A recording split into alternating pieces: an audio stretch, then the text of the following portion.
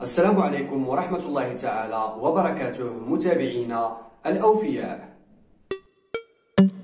البعض لا يحب أن يشاهد مغربي ضد مغربي في حلبة القتال لكن هذه المعركة لا بد منها. محمد تشاسي حامل حزام إنفيوجن ضد سفيان البالوطي. أسدين مغربيين في نزال لا يقبل القسمة على اثنين.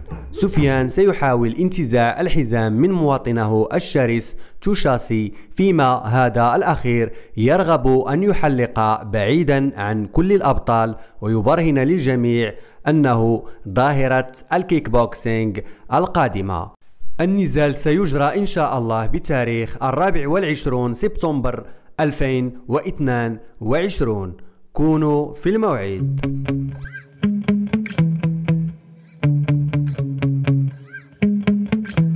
Yeah.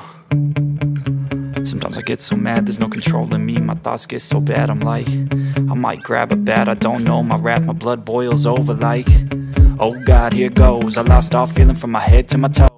وفي الأخير إن كنتم من محبي الرياضات القتالية لا تنسوا الاشتراك في القناة وتفعيل زر الجرس ليصلكم كل جديد. والسلام عليكم ورحمة الله تعالى وبركاته.